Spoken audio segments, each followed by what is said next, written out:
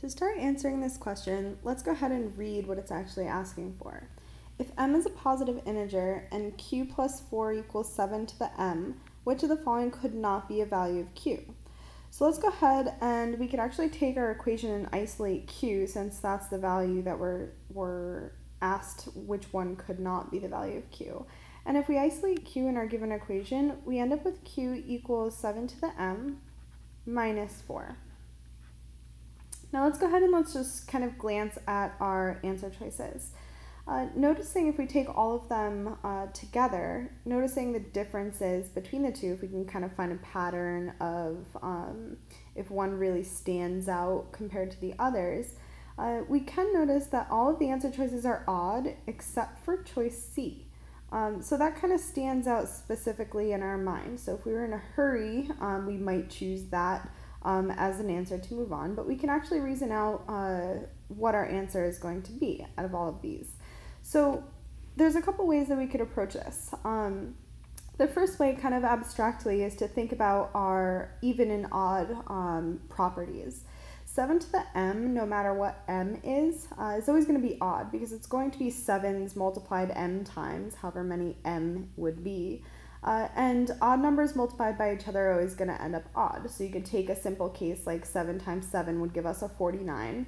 Um, and 49 minus 4 would actually give us 45. So that's a value that we could actually get. So we could just rule that out right now, just reasoning it out.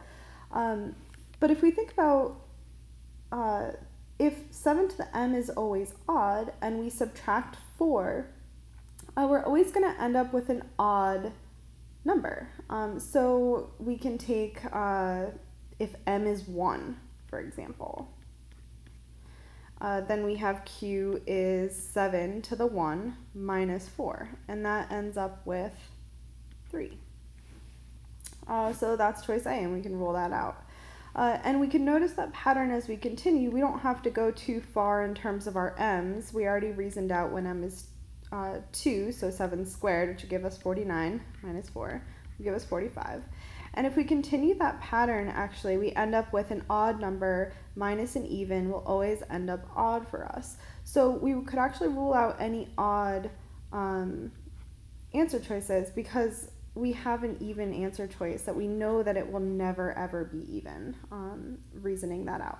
So a couple ways we could just do it abstractly, right? An odd um, number minus an even is always going to be odd, so we could rule out that this will 54 will never be an answer choice for us. Um, or we can just pick a couple uh, values, pick some numbers for m to quickly see that pattern kind of happening. Um, so if we needed to pick m equal to 3 to kind of reason that out, uh, even further, we can do that. And we don't have to find the values of m to verify that these uh, numbers actually are options for q. We just know that 54 will never be an option for q. So that would be our answer choices, answer choice C.